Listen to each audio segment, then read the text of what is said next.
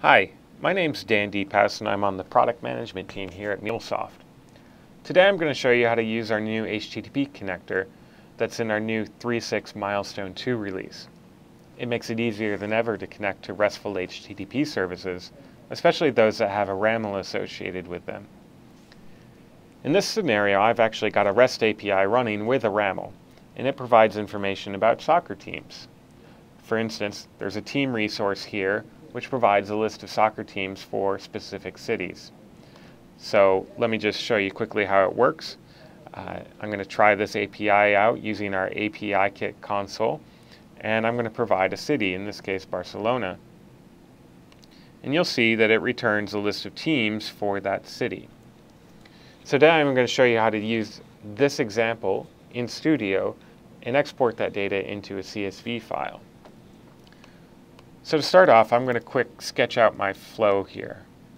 And what I'm going to do is I'm going to pull this HTTP service and pretend that we want to export it to a file every hour.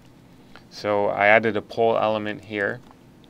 I'm going to use our new HTTP request uh, connector, which I'll tell you more about in a second. I'm going to take that, I'm going to map it into a CSV file, and then finally, I'm going to put that file somewhere on my file system. So let's go through and configure this bit by bit. First, I'm going to set up my poll to just pull every hour. So let's change this to once every hour. And then next I'm going to start to use this new HTTP request element. And as I mentioned before, this is what makes it really easy to connect to services that have a RAML. And it's set up like any other connector. So you have a basic connector configuration, which, which is shared, and then you can use that connector configuration across any number of uh, processors inside your flow.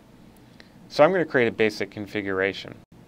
You'll see that I can type in my host port and base path, but I can also type in my RAML location. And since we have a RAML, let's do that today. So once I do this, it actually reads in the RAML and it populates my host port and base path automatically. But even better, it actually can tell me what resources I have, what methods are supported, and the specific query parameters and headers needed for those resources. So in this example, we're trying to get data out of the Teams resource. And you can see when I click on the path dropdown, it actually suggests all the different resources and I can easily find the Teams resource. Once I've done this, it'll also suggest the applicable methods for that resource. So we're going to do a get on that one. And then finally, it suggests the parameters for the resource. And we need to import a city in this case. So I can quickly type in Barcelona.